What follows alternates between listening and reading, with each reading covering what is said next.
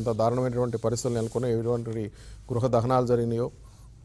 ప్రభుత్వ వైఫల్యంగా ప్రతిపక్షాలన్నీ కూడా ముక్తకంఠంతో చెప్తా ఉన్నాయి. శాంతి భద్రతల వైఫల్యం పోలీస్ యంత్రాంగం వైఫల్యం ఏమాత్రం పసిగట్టలేకపోయారా?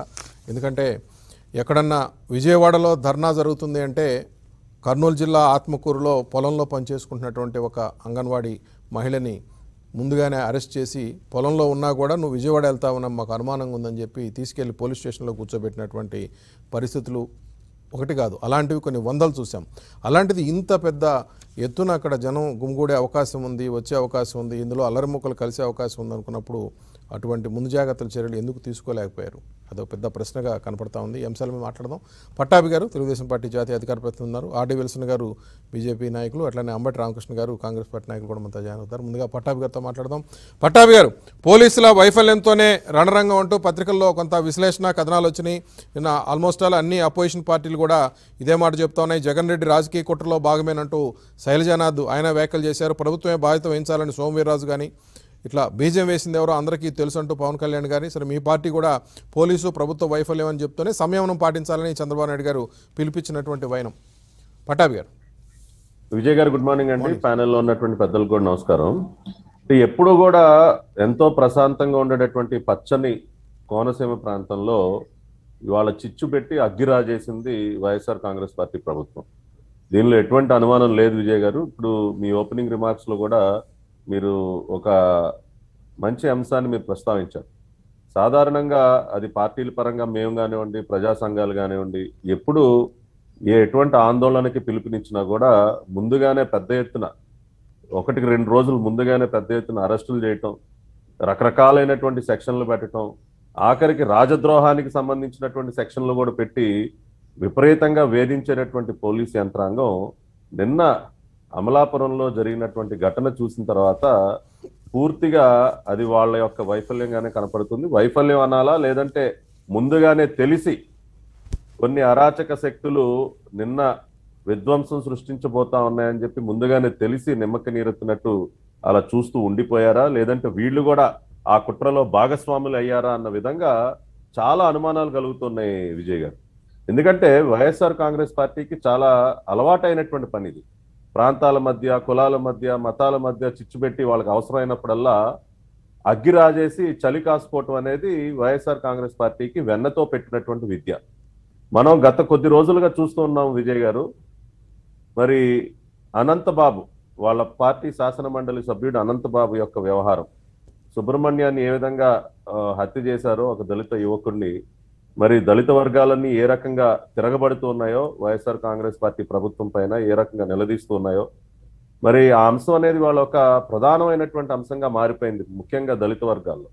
మరి అటువంటి అంశం నుంచి కొంత ప్రజల దృష్టిని మరల్చడం కోసం మళ్ళీ దళితుల్లో కొంత సానుభూతి పొందే ప్రయత్నాల్లో భాగంగా కూడా ఈ కుట్ర చేసి ఉండొచ్చు.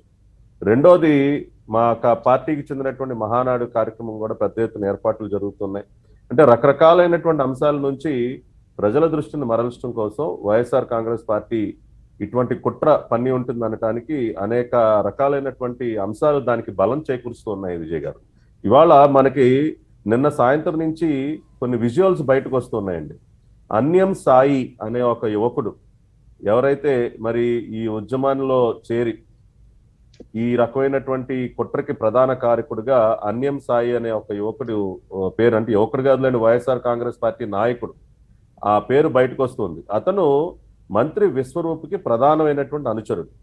అతని యొక్క ఫోటోలు విజువల్స్ మనకి బయటకు వస్తున్నాయి కొద్ది రెండు రోజుల క్రితం ఆత్మహత్య యత్నం కూడా ఒక డ్రామా ఆడాడు. ఈ జేఏసీలో కలిసిపోయి ఇతను ఏదో పెట్రోల్ పోసుకుని తనను తాను తగలబెట్టుకునే ప్రయత్నం చేసినట్టు ఒక డ్రామా కూడా ఆడాడు. అతను సారథ్యంలో ఈ కుట్ర అంతా కూడా జరిగింది అన్న విషయాలు కూడా బయటకు వస్తున్నాయి విజువల్స్ కూడా వస్తున్నాయి. ఈ అన్యం సాయి సజ్జల రామకృష్ణారెడ్డి కలిసి దిగినటువంటి ఫోటోగ్రాఫ్స్ బయటకు వస్తున్నాయి. అదేవిధంగా ఈ అన్యం సాయి మరి విశ్వరూప్ గారి జన్మదినం సందర్భంగా ఊరంతా హోర్డింగులు పెట్టినటువంటి విజువల్స్ బయటకు వస్తున్నాయి. రకరకాలైనటువంటి విజువల్స్ బయటకు వస్తున్నాయి. కాబట్టి ఇవన్నీ చూసిన తర్వాత చాలా క్లియర్గా ఇవాళ ప్రజలలో ఉన్నటువంటి అంశాల నుంచి వారి దృష్టిని మరల్చడం కోసమే నిన్న ఈ చిచ్చు పెట్టి అగ్గి అన్న విషయం చాలా స్పష్టంగా అర్థమవుతుంది విజయ్ గారు. రెండోది రెండు మూడు అంశాలు కనుక మనం గమనించినట్లయితే విజయ్ గారు ఈ నేను చెప్పేటటువంటి మాటలు కొంత బలాన్ని కూడా చేకూరుస్తున్నాయి. ఒకటి నిన్న మంత్రి విశ్వరూప్ గారి కుటుంబ సభ్యుల్ని పోలీసులు ఐ థింక్ వాళ్ళ ఇంటి మీద దాడి జరగటానికి ఒక గంట ముందు వాళ్ళ ఇంటికి వెళ్ళి వాళ్ళ కుటుంబ సభ్యులందరినీ కూడా అక్కడి నుంచి వేరే ప్రాంతానికి తరలించడం జరిగింది. అంటే అప్పటికి అసలు విశ్వరూప్ గారి ఇంటి పైన దాడి జరుగుతుందని కానీ లేదంటే దాడి చేసి ఆ ఇంటిని తగలబెడతారని కానీ మనం ఇప్పుడు ఎవరికి మనం ఎవరు ఊహించలేదు ఎందుకంటే అటువంటి మంత్రుల ఇళ్ళపైకి దాడి చేసి తగలబెట్టేటటువంటి సాహసం సాధారణంగా ఏ ఆందోళన చేపట్టినా ఆ స్థాయికి ఎవరు వెళ్ళరు విజయ్ గారు. ఈ మూడు సంవత్సరాల కాలంలో చాలా ఎడ్యుటేషన్స్ జరిగే ఆందోళన జరిగాయి కానీ మంత్రుల ఇళ్ళ మీదకి ఎమ్మెల్యేల ఇళ్ళ మీదకి వెళ్ళి ధ్వంసం చేసి దహనం చేసేటటువంటి సాహసం ఎవరు చేయరు. ఇప్పుడు ఇటువంటి పనులు ఎవరు చేయగలరంటే వాళ్ళే కుట్ర పని. వాళ్ళ పార్టీ నాయకుల ప్రమేయం ఉంటేనే అధికార పార్టీ నాయకుల ప్రమేయం ఉంటేనే ఇటువంటివి సాధ్యం అవుతాయి నిన్న పోలీసులు ఒక గంట ముందు వారి కుటుంబ సభ్యులను వేరే ప్రాంతానికి తరలించినప్పుడు మీకు నిజంగా కూడా ఈ విశ్వరూప్ గారి ఇంటిపైన దాడి జరుగుతుందన్న సమాచారం ఉండి నిజంగా ఉండి మీరు వెళ్ళి వాళ్ళని తరలించినప్పుడు మీరు వారి ఇంటికి భద్రత ఎందుకు కల్పించలేకపోయారండి? వాళ్ళ కుటుంబ సభ్యులు మాత్రం వేరే ప్లేస్కి తీసుకెళ్ళిపోయి ఆ ఇల్లు అలా వదిలేసి వెళ్ళిపోయారా మీరు? ఆ ఇంటిని అలా వదిలేసి రండ్రా బాబు అయిపోయింది. మేము ఇక్కడ నుంచి మనుషులందరినీ మేము క్లియర్ చేస్తాం వచ్చి మీరు ఏం చేసుకుంటారో చేసుకోండి. దీన్ని కాలుస్తారా తగలబెడతారా ఏదో ఒకటి చేసుకోండి అని చెప్పి పోలీసులు లైన్ క్లియర్ చేసి వెళ్ళిపోయారా? ఏమనుకోవాలి విజయ్ గారు?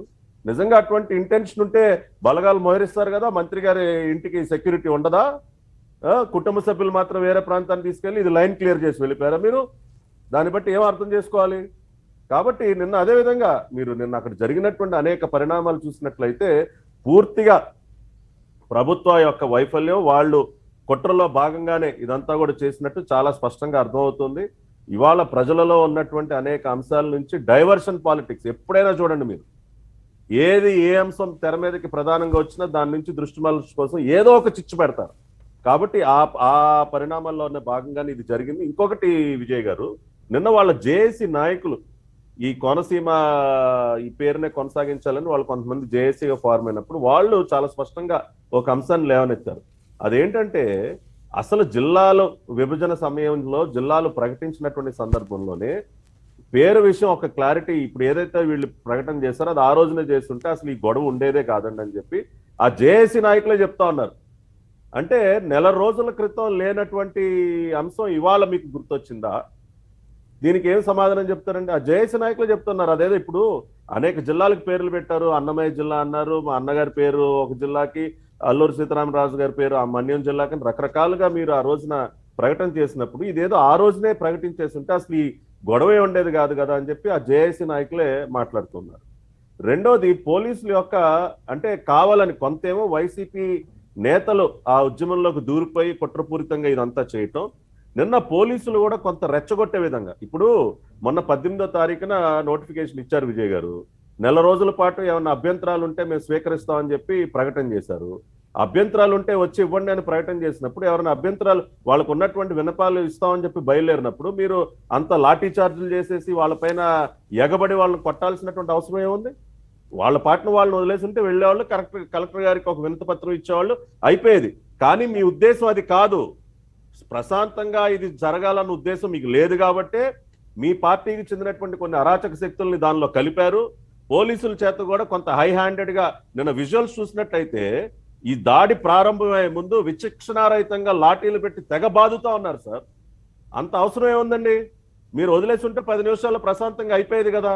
కాబట్టి ఇది పోలీసులు వైసీపీ నాయకులు ఇద్దరు కూడా మిలాఖత్ అయిపోయి కుట్రపూరితంగా ఇదంతా చేశారు.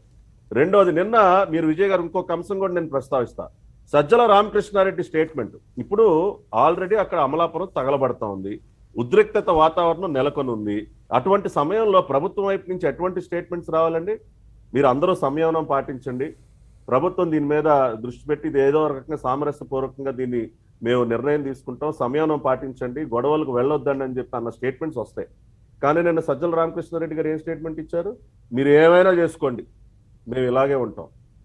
అని అది కాదు కదా! అంటే ఇంకా ఇంకా మీరు ఏంటి ఇంకా రెచ్చగొడతా ఉన్నారా? ఆల్రెడీ అక్కడ ఇది చాలా సున్నితమైన అంశం. రెండు వైపుల నుంచి కొన్ని భిన్నాభిప్రాయాలు ఉన్నప్పుడు ప్రభుత్వం ఇంకా రెచ్చగొట్టే విధంగా స్టేట్మెంట్స్ ఇవ్వటం అనేది ఎంతవరకు సబబు? అంటే ఏంటి మీ టార్గెట్? కాబట్టి ఇట్లా చెప్పుకుంటూ పోతే విజయ్ గారు అనేక ఓకే పట్టాభి గారు మీరు అనేది శాంతి భద్రతల వైఫల్యం ఒక అంశమును కుట్ర కూడా ఉందనేటువంటి ఒక అనుమానం మీకుంది ఈ అంశం మీద. విల్సన్ గారితో మాట్లాడదాం. విల్సన్ గారు ప్రశాంతతకి మారుపేరు ప్రశాంతతకి చిరునామా కోనసీమ అని అనుకుంటాం కానీ బట్ అమలాపురం గురించి చాలా తెలుసు మనకి చరిత్ర. గతంలో కూడా ఒక ఏడెనిమిది సంవత్సరాల క్రితం ఒక ఇటువంటి ఒక పరిస్థితి వచ్చింది. చాలా తీవ్రంగా అప్పుడప్పుడు కూడా అక్కడ ఘటనలు జరుగుతూ ఉంటాయి. కులపరంగా చాలా సెన్సిటివ్.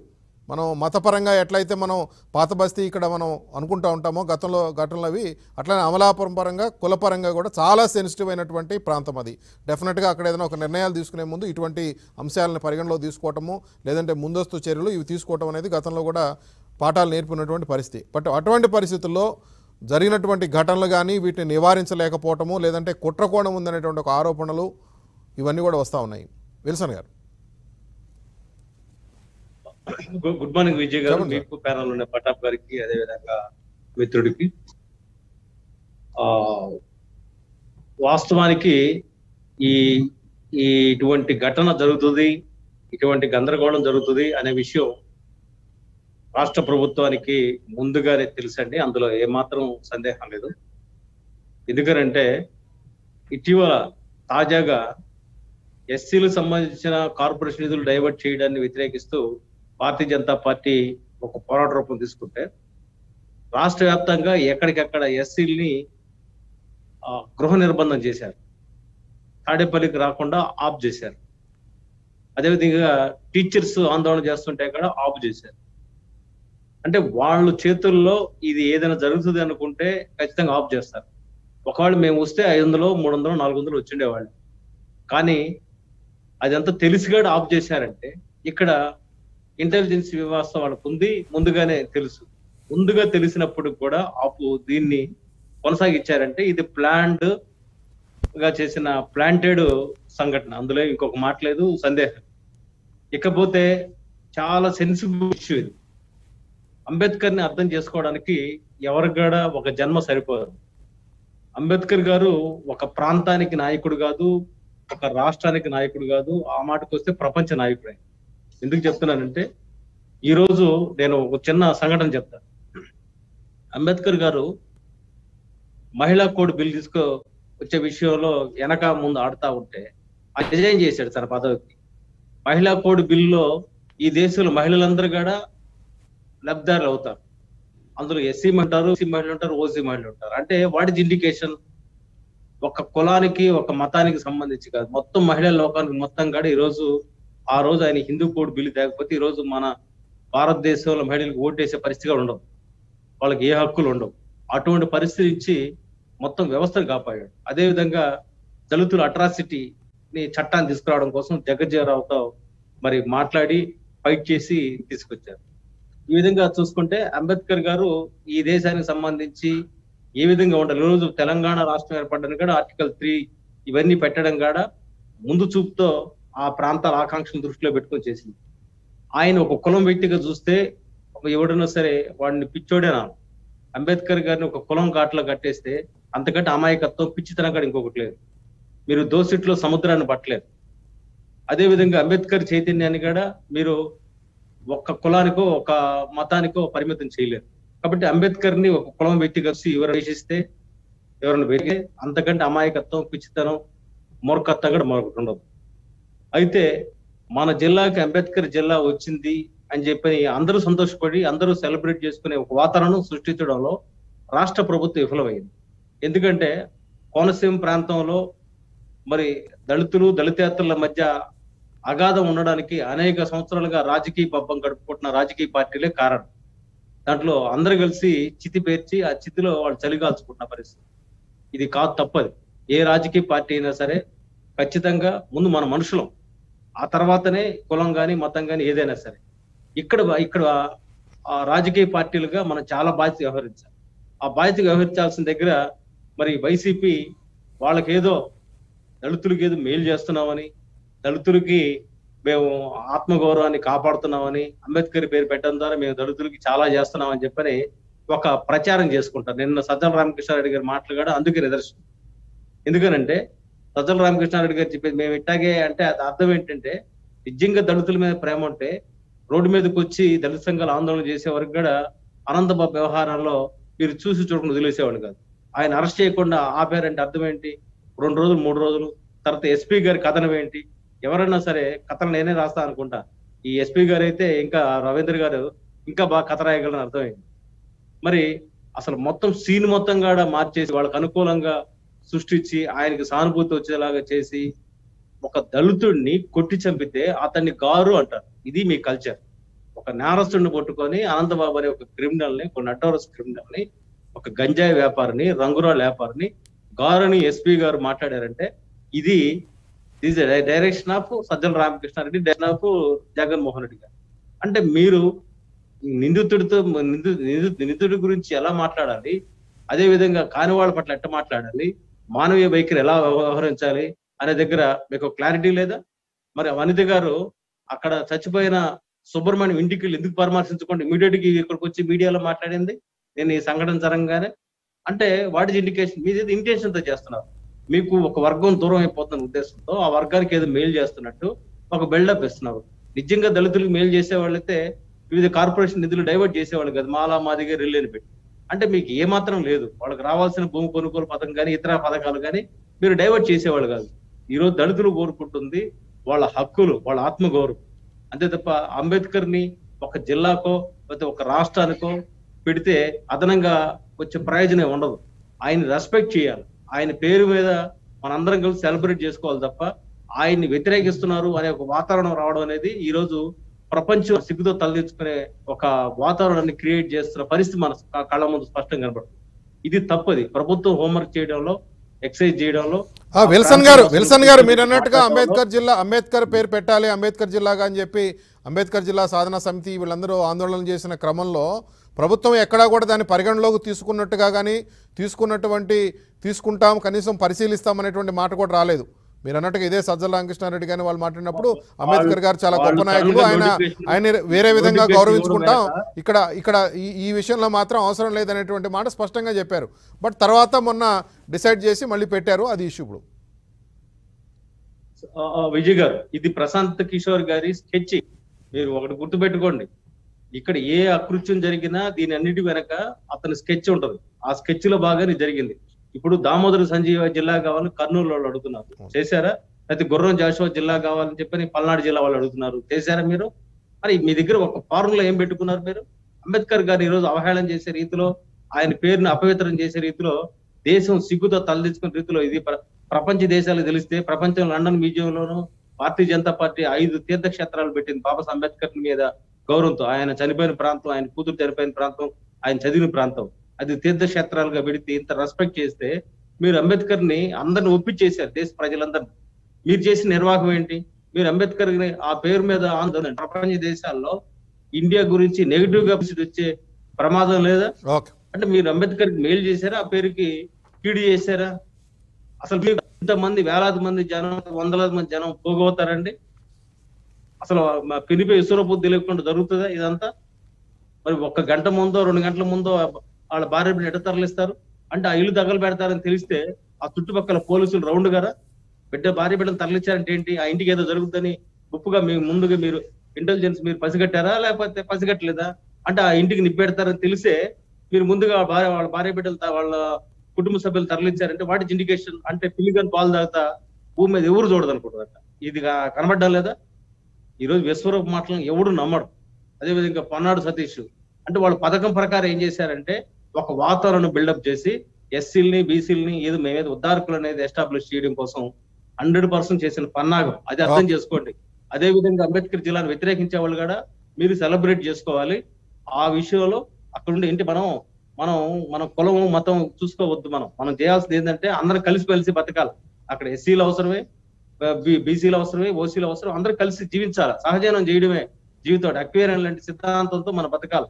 కాబట్టి ఈ విషయంలో అందరూ కలిసిమెలిసి కూర్చొని మాడుకోవాలా ముఖ్యంగా అంబేద్కర్ పేరుకి చెడ్డ పేరు తేకూడదని నేను విజ్ఞప్తి చేస్తాను. ఓకే విల్సన్ గారు. అమర్ రామకృష్ణ గారు ఎట్లా ఏ మీరు ఏ కోణంలో చూస్తూ ఉన్నారు? కుట్రకోణం అనే మాట ఒకటి వస్తూ ఉంది. శాంతి భద్రతల వైఫల్యం అనే మాట ఒకటి వస్తూ ఉంది. Sir good morning. మీకు panel లో ఉన్న పెద్దలకి అట్లాగే టీవీ ఫైవ్ ప్రేక్షకులు. సార్ కాంగ్రెస్ పార్టీగా మేము డిమాండ్ చేస్తా వస్తా ఉన్నాం. అక్కడ అంబేద్కర్ జిల్లా అంబేద్కర్ కోనసీమ జిల్లా పెట్టాలి అనేది కాంగ్రెస్ పార్టీ ప్రధాన డిమాండ్. అదే విధంగా కర్నూలుకి దామోదరం సంజీవ గారి పేరు పెట్టాలని డిమాండ్. ఈ డిమాండ్ ఎప్పటి నుంచి వస్తా ఉంది? మీరు కొత్తగా జిల్లాలు ఏర్పాటు చేస్తామన్న దగ్గర నుంచి మేము డిమాండ్ పెడతానే ఉన్నాం. సో అటువంటి పరిస్థితుల్లో మీరు కొన్ని పేర్లను సెలెక్టివ్గా తీసుకొని జిల్లాలకు పెట్టారు. దాంట్లో ఎవరం అభ్యంతరం చెప్పలేదు. స్వాగతించాం. ఆ తరుణంలోనే మీరు ఈ జిల్లాకు కానీ లేకపోతే కర్నూలు జిల్లాకు కానీ సంజీవ గారి పేరు పెట్టడంలో ఆ రోజు ఎందుకు విఫలం చెందారు? నలభై ఐదు రోజులు యాభై రోజులు గడిచిన తర్వాత మీకు ఇవాళ ఎందుకు పెట్టాలనిపించింది? అంటే అక్కడ ఆ వైసీపీకి సంబంధించిన ఎమ్మెల్సీ ఎవరైతే ఉన్నారో తను దళితుల్ని కొట్టి చంపిన తర్వాత దళితుల్లో వస్తున్న వ్యతిరేకతను పాసిఫై చేయడానికి మీరు ఈ చర్య తీసుకున్నారా? లేకపోతే నిజంగా మీరు ఉద్దేశం ఉండి కనుకుంటుంటే అంబేద్కర్ పేరు పెట్టడం కోసం నలభై యాభై రోజులు వేచి చూడాల్సిన అవసరం లేదు విజయ్ గారు. సో డే వన్ మీరు చేసేసి ఉండొచ్చు. ఇక్కడ ఎన్టీఆర్ జిల్లా పెట్టినా లేకపోతే అక్కడ సత్యసాయి జిల్లా పెట్టినా లేకపోతే అన్నమయ్య జిల్లా పెట్టినా అల్లూరు సీతారామరాజు జిల్లా పెట్టినా ఆ రోజు మీకు స్పృశించింది. ఈ రోజు మీకు అన్నమయ్య అంబేద్కర్ గారి విషయంలో ఎందుకు స్పృశించలేదు? అదే విధంగా కర్నూలుకి సంబంధించి ఇంకా there is strong demand Damodaram Sanjay గారి పేరు పెట్టాలనేది దెర్ ఇస్ స్ట్రాంగ్ డిమాండ్ అది ఇంకా పెండింగ్లోనే పెట్టారు. ఇవన్నీ కూడా లిఖిత పూర్వకంగానో లేకపోతే ఆ సంఘాలు మీ దగ్గరకు వచ్చి రిప్రజెంటేషన్ ఇచ్చినాయి కదా మాకు కన్సిడర్ చేయండి అని. సో దాన్ని ఆ రోజు కన్సిడర్ చేయకుండా ఈ రోజు ముందుకు తీ- తెర తెర ముందుకు ఈ రోజు తీసుకురావడంలో ఉన్న కారణం మీ ఎమ్మెల్సీ అక్కడ చేసిన దుర్మార్గాన్ని కప్పిపుచ్చేదానికి అనే ఒక చర్చ ఇవాళ ప్రజల్లో విస్తృతంగా జరుగుతా ఉంది విజయ్ గారు. ఇందాక మీరు అదే ఇంకొకటి కూడా కోట్ చేశారు. ఆ ప్రాంతంలో ఇట్స్ అది కులానికి సంబంధించి చాలా సెన్సిటివ్ ఏరియా ఎంత ఆ ప్రజలు ఎంత ప్రశాంత వాతావరణాన్ని లేకపోతే ఈ రకమైన హత్య రాజకీయాన్ని వీటికి దూరంగా ఉంటూనే బట్ అది అది కులాలకు సంబంధించి సెన్సిటివ్ ఏరియా అని మీ దగ్గర గతంలో జరిగిన ఎగ్జాంపుల్స్ ఉన్నాయి కదా. రెండు వేల పదిహేడు ఆ ప్రాంతాల్లో గరగపర్రులో ఒక విగ్రహాన్ని పెట్టడానికే ఒప్పుకోని పరిస్థితుల్లో ఇవాళ మీరు పేరు పెడతామన్నప్పుడు మొత్తంగా హో ఆ అన్ని జిల్లాలకు పేర్లు పెట్టే సమయంలో కాకుండా విడిగా తీసుకొచ్చి పెట్టేటప్పుడు వీడి అక్కడ ఏం చెల అక్కడ విద్వేషాలు ఏం చెలరగితే ప్రజల మధ్య ఎట్లాంటి విభజన వస్తుంది అనేది మీకు ఒక అంచనాక గతంలో ఉన్న ఇన్సిడెంట్స్ని మీరు లెక్కలోకి తీసుకోవాలి కదా. అంటే గతంలో జరిగిన వాటిని ఏది లెక్క- లెక్కలోకి తీసుకొని మనం ఇక్కడ పోలరైజ్ చేసుకొని ఓటు పొందొచ్చు అని ఈ రకమైన ఆలోచన చేశారా? లేకపోతే మీ దగ్గర అసలు ఆ- చర్చ జరగకుండా మీరు ఇష్టానికి ప్రవర్తించారా? అదే విధంగా ఇంటెలిజెన్స్ టోటల్ ఫెయిల్యూర్ కదా విజయ్ గారు. ఇప్పుడు అక్కడ డిఎస్పీతో తో పాటుగా ఎస్పీతో పాటుగా పహారా ఒక నాలుగు వందల మందినో ఐదు వందల మందినో పెట్టినా కూడా అంతమంది యువకులు బయటకు వచ్చి మీరు పోలీస్ పైనే దాడి చేసి జరిగే రకంగా వచ్చింది అంటే మీరు అంటే ఏదో జరుగుతుంది అనే ఒక ఉద్దేశం ఉంటేనే కదా పోలీస్ని మీరు అంత డిప్లాయ్ చేస్తారు. పోలీసుని డిప్లాయ్ చేసినా కూడా పోలీస్ కంట్రోల్ అదుపు తప్పి ఈ రకంగా జరిగింది అంటే it's total failure of law and order. ఆ లా అండ్ ఆర్డర్ ఫెయిల్యూర్ దాన్ని వెనక నుంచి మీ నాయకులు రెచ్చగొట్టి మీరు ఊతమిచ్చి మీరు అవకాశాన్ని ఇచ్చి దాన్ని రెచ్చగొట్టారా?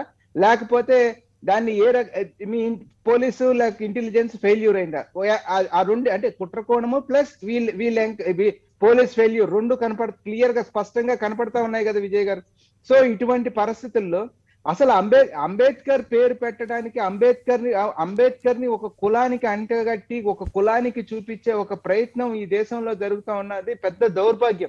ఇందాక విల్సన్ అని చెప్పాడు స్త్రీ హక్కులు స్త్రీకి సంబంధించి ఒక- దళిత స్త్రీలు లేకపోతే బలహీన వర్గాలు స్త్రీ కాదండి. దేశంలో ఉన్న స్త్రీ హక్కుల కోసం మొత్తం పోట్లాడి స్త్రీల మొత్తాన్ని ఆ- లిబరలైజేషన్ వైపుకి తీసుకొచ్చి వాళ్ళకి ఆస్తిలో సమాన హక్కు కావచ్చు అన్ని రకాలుగా వారిని పురుషులతో సమానంగా నించోబెట్టింది అంబేద్కర్.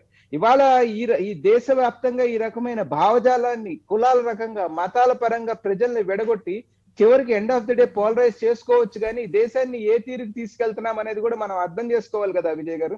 ఇవాళ ఇందాక ఇప్పుడు దామోదరం సంజీవయ్య జిల్లా డిమాండ్ ఉంది. అదే విధంగా ఇంకొంత ప్రాంతం ఉదయగిరి కనిగిరి కందుకూరు మార్కాపూర్ గిద్దలూరు ఆ ప్రాంతంలో కాటమరాజు జిల్లా పెట్టమని అక్కడ ఒక డిమాండ్ ఉంది. సో ఇవాళ ఇవన్నీ పరిగణలోకి తీసుకోకుండా ఆ కాటమరాజు జిల్లా మరి మీరు పెడతారా పెట్టరో కూడా ఇవాళ వచ్చి బయటికి చెప్పాల్సిన పరిస్థితి ఉంది సజ్జల రామకృష్ణారెడ్డి గారు. సో ఈ ఈ డిమాండ్స్ అన్ని పరిగణలోకి తీసుకోకుండా ఏకాఏకిన ఆల్ ఆఫ్ ఏ సడన్ మీరు తీసుకొచ్చి పెట్టడం ప్రజల్ని కన్విన్స్ చేసి ఆ మీరు ఏం చేయబోతున్నారో ప్రజలకు అర్థమయ్యేలాగా చెప్పకపోవడం పూర్తిగా ఈ ప్రభుత్వం యొక్క వైఫల్యాన్ని స్పష్టం చేస్తుంది విజయ్ గారు. సో అదే విధంగా అదే విధంగా దేశవ్యాప్తంగా పెరుగుతున్న ట్రెండ్స్ కూడా ఈ ఈ ఇందులో కొంత దోహదపడతా ఉన్నాయి. మీరు దళితుడేమో అనుమానంతో కొట్టి చంపడం. సో ఇదేమవుతుంది? అన్నెసెసరీ ఇన్సిడెంట్స్ ఫ్లేర్ అప్ చేసి ప్రజల మధ్య ఈ విద్వేషాలు తీసుకురావడం అనేది దేశానికి రాష్ట్రానికి కూడా చాలా చేటు కలిగించే అంశం విజయ్ గారు. ఓకే రామకృష్ణ గారు. పట్టాభి గారు ఇందాక రో- ఇద్దరు మాట్లాడిన దాంట్లో అంబేద్కర్ గారిని అర్థం చేసుకోవటంలో కనుక విఫలం చెందితే దానివల్ల సమాజానికి వచ్చే నష్టం అనే అంశం ఒకటి. అట్లనే ఈ ఈ జిల్లా గురించి వచ్చినప్పుడు ఇందా ప్రస్తావించాం. ప్రభుత్వము అంబేద్కర్ గారి పేరు పెట్టాలి అని చెప్పి డిమాండ్ బాగా వచ్చే దాపు రెండు మూడు నెలల పాటు ఉద్యమం జరుగుతున్న టైంలో ఎక్కడా కూడా కనీసము ఒక డైలాగ్ కానివ్వండి అట్లాంటిది లేకుండా ఆయన వేరే విధంగా గౌరవించుకుంటామో జిల్లాకు జిల్లాకి ఆయన పేరు పెడతామా చాలా పెద్ద ఆయన ఆయన చాలా చేస్తున్నాం ఇట్లాంటి మాటలు మాట్లాడుతూ వచ్చి అప్పుడేమో నిర్ద్వందంగా తోసిపుచ్చిన ప్రభుత్వం.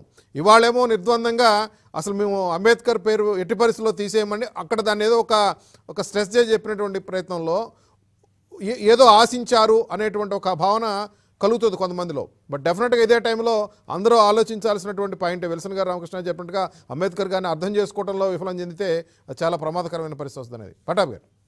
యా విజయ్ గారు ఇవాళ భారత రాజ్యాంగాన్నే ఒక చిట్టు కాగితంగా భావించి విసిరిపారేసినటువంటి జగన్ రెడ్డి ప్రభుత్వానికి రాజ్యాంగ నిర్మాత పైన ఏం గౌరవం ఉంటుంది సార్? ఆయన ఇవాళ ప్రపంచంలోనే అతి గొప్ప రాజ్యాంగంగా పేరు సంపాదించుకున్నటువంటి భారత రాజ్యాంగం. ఆ రాజ్యాంగంలో పొందుపరిచినటువంటి అనేక అంశాలు ఇవాళ మన రాష్ట్రంలో అమలవుతా ఉన్నాయా? ఇవాళ మన రాష్ట్రంలో అమలవుతున్నది రాజారెడ్డి రాజ్యాంగం అని ప్రతి చిన్నపిల్లాడిని అడిగినా కూడా చెప్తారు. కాబట్టి భారత రాజ్యాంగాన్నే గౌరవించినటువంటి ఈ ప్రభుత్వం రాజ్యాంగ నిర్మాతకి ఏం గౌరవాన్ని ఇస్తుంది సార్? కాబట్టి ఎప్పుడు కూడా వాళ్ళకి ఆ గౌరవం ఎక్కడా కూడా లేదు. ఇప్పుడు పెద్దలిద్దరూ విల్సన్ అన్న కానీ రామకృష్ణ గారు కానీ ఇద్దరూ చెప్పినట్టు నిజంగా అంబేద్కర్ గారి పైన వారికి నిజంగా ఎటువంటి గౌరవం ఉన్నా ముందుగానే ఆ గౌరవాన్ని ఆయనకి ఇచ్చుండేవాళ్ళు. జిల్లాలు అనేక జిల్లాలను ప్రకటించినటువంటి సందర్భంలోనే అటువంటి నిర్ణయం తీసుకునేవాళ్ళు. కానీ ఇవాళ ఒక దళిత యువ యువకుడిని అతి కిరాతకంగా చంపటమే కాకుండా డోర్ డెలివరీ చేశారండి. నిజంగా ఎంత బరి తెగింపండి చేసింది హత్య చేసింది చాలక ఇంటికి డోర్ డెలివరీ డోర్ డెలివరీ చేస్తారా మీరు? పార్సిల్ చేసి ఇంటికి పంపిస్తారా ఆ మృతదేహాన్ని? ఎంత మీకు ధైర్యం ఉంటే ఆ పని చేస్తారు సార్? దళితులంటే అంత చులకనా మీకు? చేసినటువంటి పని చాలక ఇళ్ళకి పంపిస్తారా మీరు దళితుల్ని చంపేసి? జరిగిన తర్వాత ఏం చేసింది సార్ ఈ ప్రభుత్వం? సంఘటన జరిగిన తర్వాత ఆ ఎమ్మెల్సీ అనంతబాబు పెళ్ళిళ్ళకి పేరెంటాలకి తిరుగుతా ఉన్నాడు. ఎంత ధైర్యం ఉంటే ఆ పని చేస్తాడు సార్? ఇవాళ ఏదో వచ్చి నేనే చేశాను ఏదో చెప్తా ఉన్నాడు. చేసింది చాలక పెళ్ళిళ్ళకి పేరెంటాలకి తిరుగుతుంటే ఆ, పోలీసులు అంటే తీవ్రంగా గాలిస్తా ఉన్నారంట. ఇజ్ ఇట్ ఏ జోక్ అంత జోక్ అయిపోయిందా మీకు? దళితులంటే మీ దళితుల ప్రాణాలంటే అంత లెక్క లేకుండా ఉందా ఈ ప్రభుత్వానికి? ఇవాళ ఆ రకంగా సంఘటనలు జరుగుతూ ఉంటే రాజకీయ పార్టీలుగా మేమే కాకుండా దళిత సంఘాలన్నీ వెళ్ళి కూడా అక్కడ ఉద్యమం చేస్తే గట్టిగా నిలదీస్తే ఇవాళ దిక్కుతోచినటువంటి పరిస్థితులు ఏదో కేసు నమోదు చేశామని చెప్తున్నారు. నిన్నేదో ఈ తాడేపల్లి జీతగాడు ఏదో మీడియా ముందుకు వచ్చి చెప్తా ఉన్నాడు. చాలా అసలు ఎప్పుడు జరగని విధంగా చాలా వేగంగా దర్యాప్తు చేసి ఏదో ఆయన గారిని అదుపులోకి తీసుకున్నారంటే. ఏం చేశారండి మీరు? కనీసం పోస్ట్ మార్టం కూడా అంగీకరించలేదు సార్ ఈ దిక్కుమాలిన ప్రభుత్వం. పోస్ట్ మార్టం చేయాలని అక్కడ ఆందోళన చేసింది. వాళ్ళ కుటుంబం వాళ్ళ భార్య అడ్డంగా కూర్చుంది. ఏం జరిగిందో తెలియాలంటే పోస్ట్ మార్టం చేసి తీరాల్సిందే అని చెప్పి. అంటే ఒక దళిత బిడ్డ హత్యకు గురైతే మీరు కనీసం పోస్ట్ మార్టం చేయరా అండి? పోస్ట్ మార్టం కోసం ఉద్యమాలు చేయాలా? మీరు దళితుల గురించి మాట్లాడతారా? కాబట్టి ఇవాళ ఈ ప్రభుత్వానికి ఒక్క సుబ్రహ్మణ్యం విషయంలోనే కాదు విజయ్ గారు. మీరు గతంలో చరిత్ర చూడండి. ఏ వరప్రసాద్కి శిరోమండనం చేసిన రోజున ఏమైపోయింది దళితుల పైన ప్రేమ? వరప్రసాద్కి శిరోమండనం చేసిన రోజు ఏమైపోయింది సార్? ఏం చర్యలు తీసుకున్నారు ఇప్పటి వరకు? భారత రాష్ట్రపతికి లేఖ రాయాల్సినటువంటి పరిస్థితి. ఆ రోజు ఏమైనా కఠినమైనటువంటి చర్యలు తీసుకున్నారా? చీరాల్లో కిరణ్ అనే యువకుడిని పట్టున పెట్టుకున్న రోజున ఏం చర్యలు తీసుకున్నారు మీరు? డాక్టర్ సుధాకర్ విషయంలో ఏం జరిగింది? గత మూడు సంవత్సరాలుగా ఎప్పుడు ఏ దళిత బిడ్డపైన దాడి జరిగినా ఏ దళిత బిడ్డ ద- దళిత బిడ్డ అవమానింపబడిన హత్య గావింపబడిన ఏ రోజు కూడా మాట్లాడినటువంటి ప్రభుత్వం ఇవాళ వచ్చి దళితుల గురించి మాట్లాడతారా? అంటే అవసరానికి ఉపయోగించుకుంటారా మీరు? ఆ రోజున ఎన్నికలకు ముందు ఆ రకంగానే మీ అవసరాల కోసం వాళ్ళ ఓట్ల కోసం మీరు దళిత బిడ్డలను ఉపయోగించుకుని వాళ్ళ అధికారంలోకి వచ్చి ఇవాళ మీరు దళితుల గురించి మాట్లాడతారు. కాబట్టి ఇదంతా కూడా కేవలం ఇవాళ సుబ్రహ్మణ్యం హత్య జరిగిన తర్వాత దళిత వర్గాల్లో వస్తున్నటువంటి తీవ్రమైనటువంటి వ్యతిరేకత నుంచి ఏదో ఒక రకంగా తమని తాము కాపాడుకోవటం కోసం ఆడినటువంటి కుట్ర. దానిలో ఎటువంటి అనుమానం లేదు విజయ్ గారు. ఆ కుట్రలో భాగంగానే. నిన్న అమలాపురం తగలబడింది. ఆ చిచ్చు రాజేశారు దానికి పోలీస్ వర్గాలు కూడా సహకరించాయి. ఇదంతా కూడా ప్రీ ప్లాన్డ్గా ఇవాళ ఈ అన్యం సాయి అనేటటువంటి వైసీపీ నాయకులందరినీ కూడా దానిలోకి చొ- చొప్పించి ఇదంతా కూడా చేయటం జరిగింది. ఈ విషయాలు ఈ నిజాలన్నింటినీ కూడా ఇవాళ రాష్ట్రంలో ఉన్నటువంటి పెళ్ళి ప్రతి ఒక్క దళిత బిడ్డ అర్థం చేసుకుంటూ ఉన్నాడు. ఓకే విల్సన్ గారు ఇందాక ప్రస్తావించినట్టుగా మనం విజువల్స్లో కూడా చూడొచ్చు. గత రెండు మూడు రోజులుగా విజువల్స్ బాగా చూస్తూ ఉన్నారు. ఆ రాజసం చూడండి ఆ ధీమా చూడండి ఆ టీవీ చూడండి అని ఒక నిందితుడిని కారులోంచి దించి ఆయన ఆసుపత్రిలో ట్రీట్మెంట్ కోసం అదే ఒక చెకప్ కోసం తీసుకెళ్ళేటప్పుడు ఆయనకి ఎంత దూరంగా అంటే ఆల్మోస్ట్ ఆల్ ఒక ముఖ్యమంత్రి గారిని కొంచెం దూరంగా ఉండి ఎట్లయితే ఒక వలయం ఉంటుందో దగ్గరికి వెళ్ళి టచ్ చేయరు కదా ఆ స్థాయిలో ఎట్లా తీసుకొచ్చారో అదే టైంలో మనం మొన్న నారాయణ గారి అరెస్ట్ కానీ లేదంటే గతంలో టీడీపీ లేదంటే ఇతర పార్టీల నాయకుల అరెస్టులు ఇంకేమైనా అరెస్ట్ చేసినప్పుడు వాళ్ళని రెక్కబట్టుకొని తీసుకెళ్ళినటువంటిది మాజీ మంత్రుల్ని ఎమ్మెల్యేలు ఇట్లా చేసిన వాళ్ళందరినీ ఎంపీలని రెక్కబట్టుకొని తీసుకెళ్ళిన పరిస్థితి. నేను నేను మర్చిపోయాను పట్టాభి గారు. నేను నిజంగా మర్చిపోయా. నేను ఇంకా వేరే ఉదాహరణ ఏవో చెప్తా ఉన్నాను. సారీ పట్టాభి గారి పరిస్థితి ఉంది. బట్ ఇక్కడ ఎలాంటి పరిస్థితి? ఇందాక అన్నట్టుగా ఆ వరడే నాకు చాలా మీరు ఇందాక డోర్ డెలివరీ అనే పదం వాడారు పట్టాభి గారు. నిజంగా ఎంత బాధ బాధ కాదు అసలు ఏం చేయాలో అర్థం కావట్లేదు. నిజంగా ఎంత ధైర్యం ఉంటే బహుశా ఇంతవరకు ప్రపంచంలో ఎక్కడా జరుగుండదేమో. మర్ర చేసి ఎక్కడో నిర్జన ప్రదేశంలో పడేసి వెళ్ళిపోవటమో ఏదో నదిలో పడేసాడు సముద్రంలో పడేసి వెళ్ళిపోయాడు ఇట్లాంటివి ఉంటాయి కానీ బట్ మీరు అన్నట్టుగా డోర్ డెలివరీ చేసి వెళ్ళటం అనేది బహుశా ఇది అసలు ఎంత ధీమా అనుకోవాలి ఏమనుకోవాలి దాన్ని. విల్సన్ గారు మీరు చూస్తుంటారు ఆ విజువల్స్? ఇప్పుడు మనం కూడా ప్లే చేసిన దాంట్లో ఉన్నాయి. ఇప్పుడు ఆ అంబేద్కర్ గారి మీద ప్రేమ ఉన్నట్టు అంబేద్కర్ గారి పేరు పెడితే మొత్తం దళితులు మొత్తానికి కూడా మేలు జరుగుతున్నట్టు ఒక కలరింగ్ ఇవ్వాలని ఒక స్ట్రాటజీ నడుపుతున్నారు. అంబేద్కర్ అసలు దళిత నాయకుడు. అసలు బుద్ధి జ్ఞానం ఉన్న వాళ్ళకి ఎవరికైనా సరే అంబేద్కర్ని దళితుడుగాను లేదా దళిత నాయకుడు గాను చూస్తారు? అసలు అంకిత జ్ఞానం ఏమన్నా పనిచేస్తా ఉందా? ఆయన ప్రపంచ నాయకుడు ఇంటలెక్చువల్ మరి మధుమేహం ఆయన్ని బాధిస్తున్నా ఈ దేశం కోసం రాజ్యాంగం చేశాడు చచ్చిపోతాడని తెలిసి కూడా చేశాడు. అది ప్రపంచానికి చాలా మంది తెలియకపోవచ్చు నేను ఆందోళన చేసి దాన్ని వ్యతిరేకించే వాళ్ళకి కూడా చెప్తున్నాను. అంబేద్కర్ని మీరు కులానికి చూడకండి. అసలు అంబేద్కర్ ఒక కులానికి విమడ్డు ఆయన. ఆయన ప్రపంచ స్థాయి పౌరుడు ఆయన. ప్రపంచంలో మానవాళి బాగుండాలని కోరుకున్న వ్యక్తి. ఆయన ఒక ఘాట కట్టేస్తే అంతకంటే దారుణం ఇంకొకటి లేదు. ఈ ఈ రోజు అంబేద్కర్ గారి మెడ మీద తుపాకీ పెట్టి అన్ని రాజకీయ పక్షాలను పేల్చేయాలని చెప్పి చేసిన ఒక శుద్ధ రాజకీయం దోసిట్లో మీరు సముద్రాన్ని ఇముడ్చుకోగలరా? అది సాధ్యం అవుతా అరచేతి అడ్డు పెట్టి సూర్యకాంతిని ఆపగలరా? అది సాధ్యం అవుతుందా కాబట్టి ఆ చైతన్యానికి మీరు ఎక్కడికక్కడ మీరు ఇది చేయలేరు. కాబట్టి మీరు ఆయన్ని ఆయన్ని ఆయనకి చెడ్డ పేరు తీసుకొచ్చి పనిచేస్తున్నారు ప్రజల్లో డిఫరెంట్ వాయిస్ ఉన్నప్పుడు వాళ్ళని కూర్చోబెట్టి మాట్లాడి ఇప్పటికైనా సరే రాష్ట్ర ప్రభుత్వం ఇమీడియట్గా అఖిల పక్షం ఏర్పాటు చేసి అన్ని రాజకీయ పక్షాలతో మాట్లాడండి. ఎందుకంటే మనకి అంబేద్కర్ గారు కాలగర్భంలో కలిసిపోయిన తర్వాత మనం బతుకున్నాం. మన మనుషులుగా బతుకున్నాం. మన బిడ్డలు బతకాలి. కులం లేదు మతం లేదు ప్రాంతం లేదు పక్కన పెడితే మన జనరేషన్స్ బతకాలి. నిన్న ఇంకా మీరు మీ మీ శుద్ధ రాజకీయాన్ని ఎక్కడ ఆపారు. ఇంకా కొద్ది మందిని మీరు కానీ పైన ఓపెన్ చేసి చనిపోతే వాళ్ళ బిడ్డలు భార్య బిడ్డల పరిస్థితి ఏమయ్యేది? అదేమంటే వాళ్ళ మీడియాలో ఏం రాస్తారని సమయాన్ని పాటించారట పోలీసులు. మరి ఆందోళన ధర్నాలు చేయాలి ప్రజాస్వామ్యబద్ధంగా అని చెప్పిన ఆ దళిత యువకులు రోడ్డు మీదకి వస్తే వాళ్ళు మాత్రం మీరు హౌస్ అరెస్ట్ చేస్తారు వాళ్ళు మాత్రం గృహ నిర్బంధం చేస్తారు. అక్కడ ఎందుకు సమయాన్ని పాటించలేదు? వాళ్ళ హక్కుల కోసం మాట్లాడే ఇది లేదా? ఇక్కడ వ్యతిరేకించే వాళ్ళకి ఎట్లాంటి హక్కులు ఉంటాయో? వాళ్ళ కార్పొరేషన్ కాపాడుకునే వాళ్ళకి కూడా అంత హక్కులు ఉండవా? టీచర్లకు హక్కులు ఉండవా? కాబట్టి ఇది అసంగతం పూర్తిగా అప్సైడ్ ఇక సుబ్రహ్మణ్యం ఒక నోటోరియస్ క్రిమినల్ అతను. అతను ముసుగేసి తీసుకురావాలి. అనంతబాబు.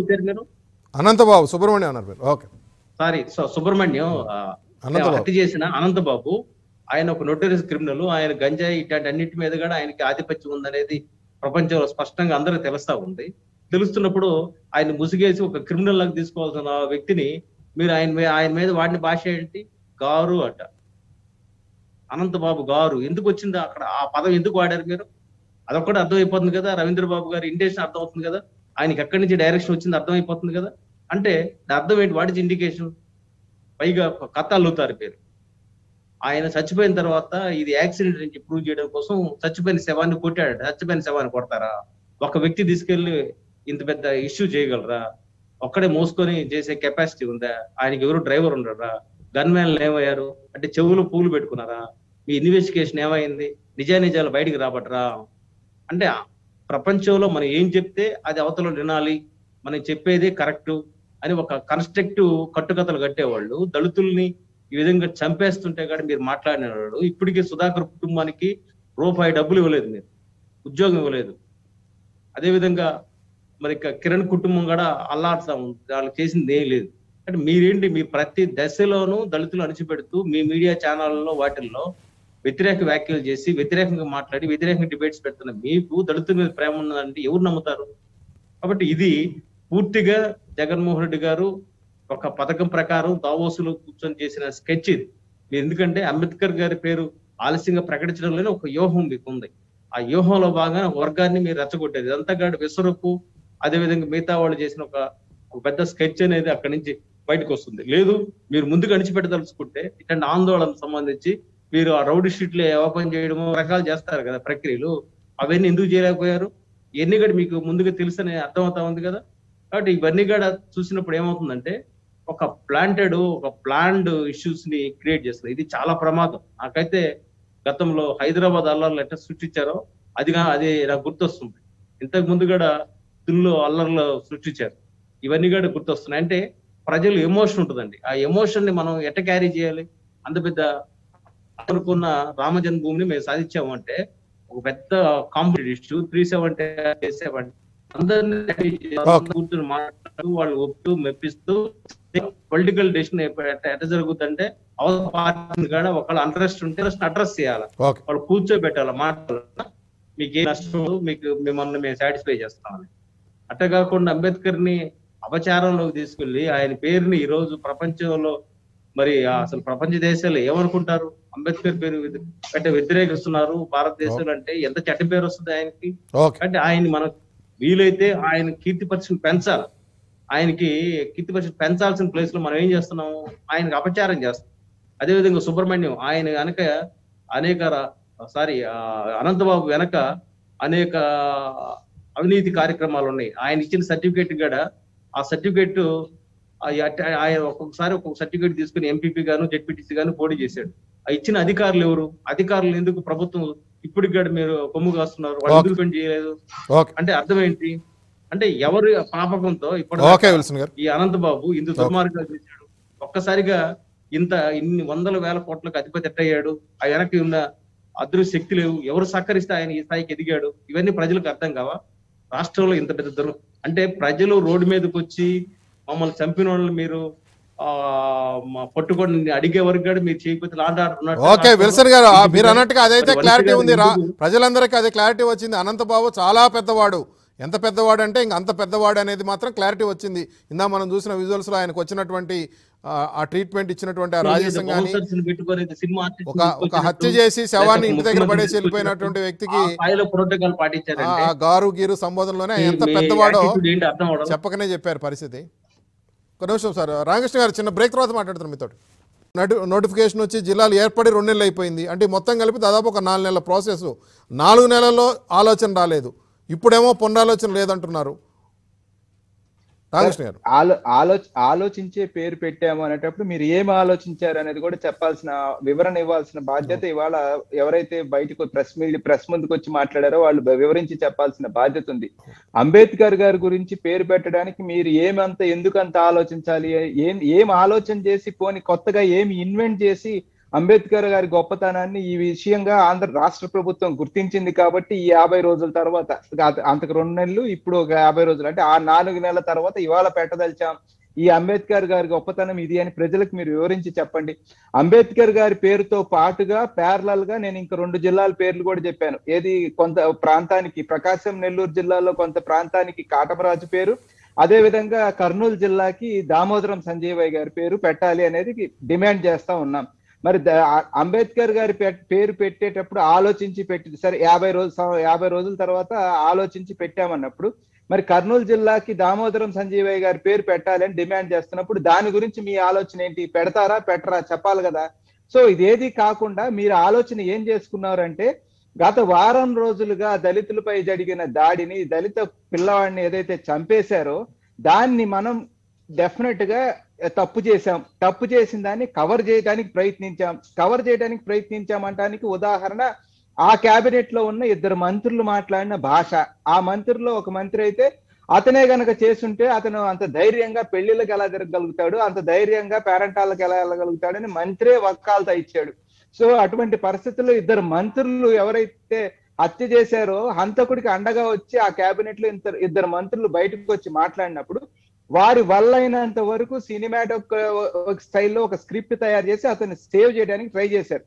అది కాని పక్షంలో ఖచ్చితంగా అతనే అని నిర్ధారించబడిన పక్షంలో ఆ దళిత పిల్లోడు ఎవరినైతే చంపేశాడో ఆ- ఆ వైసీపీకి సంబంధించిన ఎమ్మెల్సీ. సో దాన్ని ఇంకా కవర్ చేసుకునే స్థితి లేనప్పుడు ఈ దీని చర్చ మొత్తాన్ని ఇంకొక విషయానికి డైవర్ట్ చేయాలి. డైవర్ట్ చేయడం కోసం అంతర్జాతీయంగా ఖ్యాతిగాంచిన భారతదేశాన్ని వాళ్ళ సమైక్యంగా ఉంచి భారతదేశాన్ని కలిపి ఉంచేదానికి అత్యంత కృషి చేసిన మహానుభావుడి పేరుని మీ రాజకీయం కోసం మీరు వాడుకుంటున్నారు అనేది వాళ్ళ ఆంధ్ర రాష్ట్ర ప్రజల మొత్తానికి దాదాపుగా అర్థమైన విషయం వారు చర్చించుకుంటున్న విషయం విజయ్ గారు. సో ఇదే నిజంగా మీకు దళితుల పట్ల ప్రేమ ఉండుంటే అంబేద్కర్ జిల్లాతో పాటు అవతల దామోదరం సంజీవయ్య పేరు కూడా వచ్చుండేది. అలా కాకుండా బీసీల పట్ల మీకు ప్రేమ ఉండుంటే కాటమరాజు జిల్లా వచ్చుండేది. ఇదేది కాకుండా మీ రాజకీయం కోసం మీరు చేసిన పన్నాగం అనేది స్పష్టంగా అర్థమవుతా ఉంది విజయ్ గారు.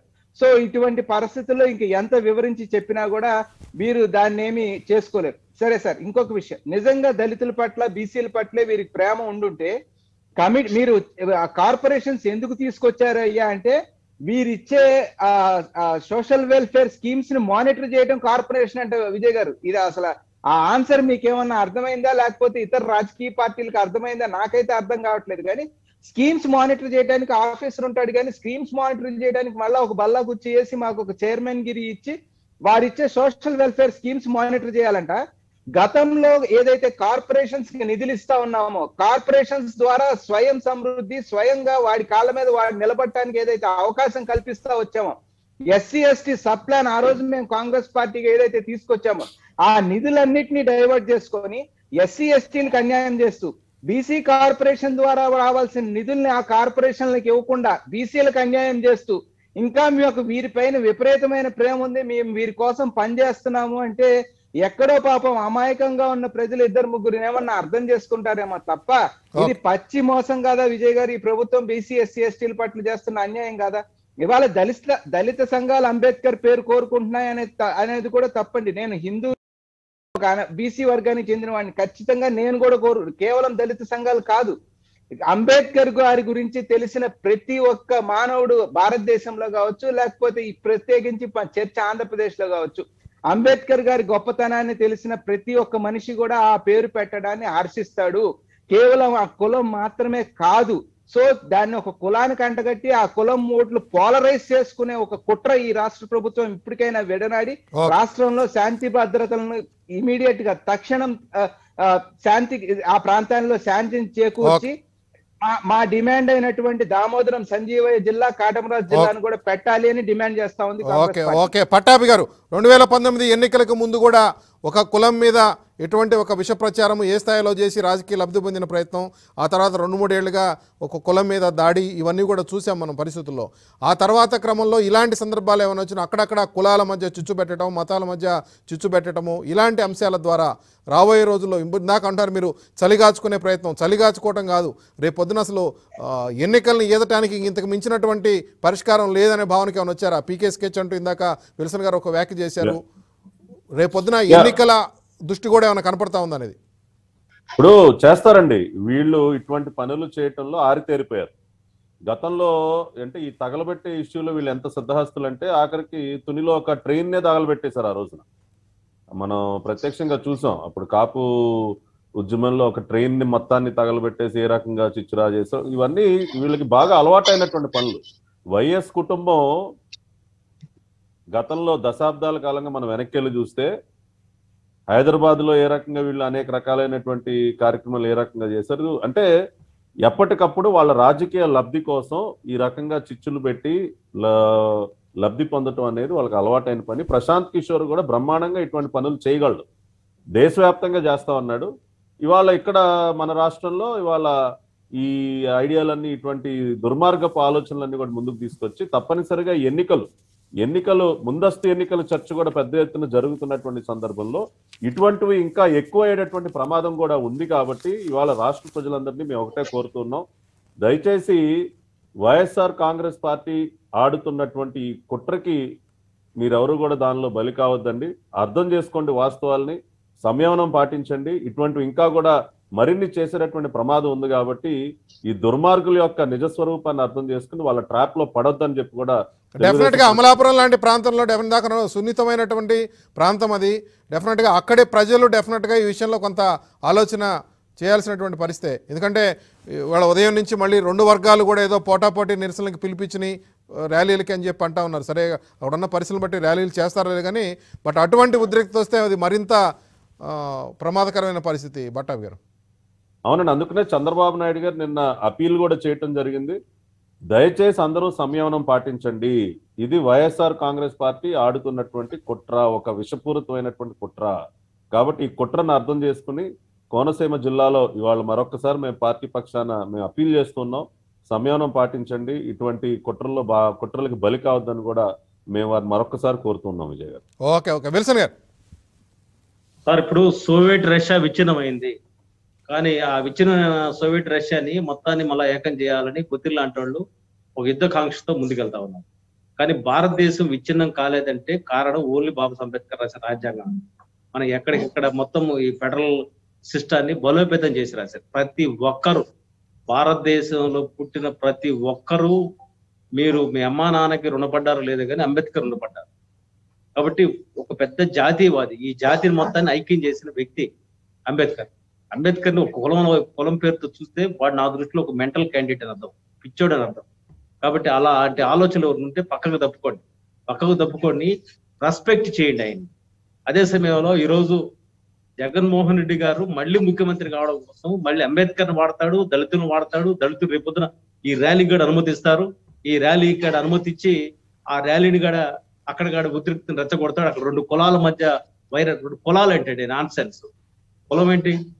జాతి ఇంపార్టెంట్ ఈ జాతి బాగుండడం ఇంపార్టెంట్ మన అన్నం తినడం ఇంపార్టెంట్ గాలి పీల్చడం ఇంపార్టెంట్ ఈ మొత్తం మన పూర్వీకులు అంబేద్కర్ గాంధీ ఇలాంటి వాళ్ళని కులం పేరుతో చూడకూడదండి. తప్పది. అది అంతకంటే పిచ్చితనం మొరకత ఇంకొకటి లేదు. ఎప్పుడైనా సరే కులం నీ కులం దేనికి ఉపయోగపడాలంటే నీ కులంలోని పేదరికం కోసం పనిచేయాలి. అదే విధంగా నీ మతం దేనికి ఉపయోగపడాలంటే నీ మతం ఆ సంస్కృతి వారసత్వ సంపద పెరగడం కోసం దేశ సమగ్రత కోసం ఉపయోగపడాలి.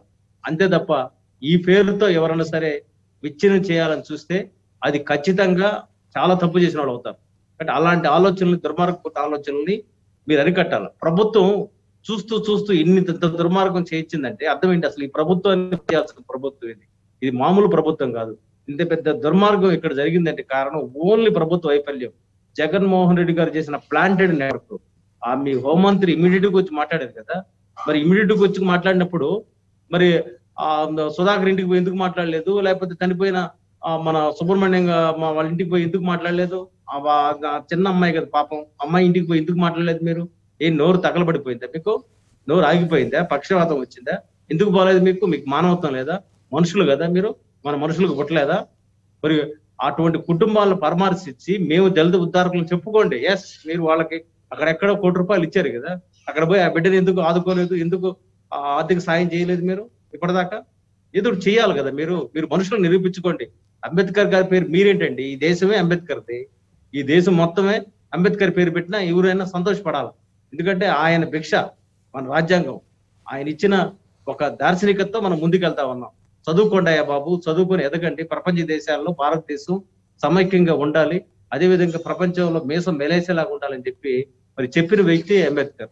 అటువంటి అంబేద్కర్ని మీరు ఒక ప్రాంతానికో ఒక ఒక పొలానికో లేకపోతే ఒక చిన్న దానికి చిన్న సర్కిల్కి కట్టేస్తారండి. దానికి మీరు రాజ కుట్ర కుట్ర రాజకీయం చేస్తారా? పెట్టండి మీరు. దళితుల్ని మీరు నిజంగా రెస్పెక్ట్ చేయదలుచుకుంటే సంజీవ్ గారి పేరు పెట్టండి. అయితే ప్రపంచ సాహిత్యాన్ని సృష్టించిన గుర్రం జాషువా గారి పేరు పెట్టండి. ఇటు లోకల్గా కూడా ఇక్కడ ఉండే రాష్ట్రంలో ఉండే నా దళిత మేధావులు వీళ్ళందరినీ కూడా మీరు రెస్పెక్ట్ చేయండి మీరు. ఇక్కడ బీసీల్లో ఉండే వాళ్ళు రెస్పెక్ట్ చేయండి. మీరు రంగా గారి పేరు పెట్టండి. మీకు అంత ప్రేమ కారితే చేయండి మీరు. అలాంటి ఏమి చేయకుండా రాజశేఖర రెడ్డి గారి పేరు పెట్టినప్పుడు మేము ఏమైనా వ్యతిరేకించారా? అదేవిధంగా చంద్రబాబు నాయుడు మరి ఎన్టీఆర్ గారి పేరు ఎవరు వ్యతిరేకించారా? వాళ్ళందరూ మనం రెస్పెక్ట్ చేయాల్సిన వ్యక్తులు. వాళ్ళ కులం వాళ్ళ వాళ్ళ కులంతో చూడడం లేదు. రాజశేఖర రెడ్డి గారి కులం పేరుతో చూస్తున్నాం మనం. ఎన్టీఆర్ గారి కులం పేరు చూస్తామా? అది ఆయన తెలుగు తేజం. ఆంధ్రప్రదేశ్కి ఉమ్మడి రాష్ట్రంలో తెలుగు వాడికి తెలుగు తెలుగు సంతకం ఎన్టీఆర్ అనుకుంటున్నాం. ఈ రోజు ఆ జయంతిలు గారు జరుగుతున్న ఏంటి. ఆయన్ని ఒక. దారి ఒక ఈ ఈ జాతి అస్తిత్వానికి నిలువెత్తు తెలుగు సంతకంగా మనకు కనబడతాడు ఎన్టీఆర్. అటు ఎన్టీఆర్ మనం రెస్పెక్ట్ చేస్తాం. అదే రాజశేఖర రెడ్డి గారు ఆరోగ్యశ్రీ పథకాలు తెచ్చారు కదా ఆయన రెస్పెక్ట్ చేస్తాం. మరి మీరు రెస్పెక్ట్ చేసే స్థితిలోకి రాండి. శుద్ధ రాజకీయాలు చేసి ప్రజల్ని చంపి ప్రజల్ని హింస పెట్టి మీరు మీ మీ ఎంపీ మీ ఎంపీ పదవుల కోసం ఎమ్మెల్యే పదవుల కోసం ముఖ్యమంత్రి పీఠం కోసం ప్రజల మధ్య వైషమ్యాలు రెచ్చగొడతారండి. తప్పు సార్. ఓకే. విజయ్ గారు ఈ వైఖరి ఓకే విల్సన్ గారు డెఫినెట్గా జగన్మోహన్ డెఫినెట్గా మన మానుకోకపోతే విజ్ఞప్తి మన వినతి అందరికీ అది అందాలని చేరాలని ప్రశాంతతకి ప్రశాంతంగా ఉండేటువంటి కోనసీమ పచ్చగా ఉండే కోనసీమ ప్రశాంతంగా ఉండాలని ఆ ఉండేలాగా ప్రభుత్వం చేయాలని కోరుకుందాం. Thank you very much Ramakrishna గారు పట్టాభి గారు విల్సన్ గారు చర్చలో పాల్గొన్నందుకు ఇది రోజు న్యూస్ క్యాన్ రేపు న్యూస్ క్యాన్లో మళ్ళీ కలుద్దాం.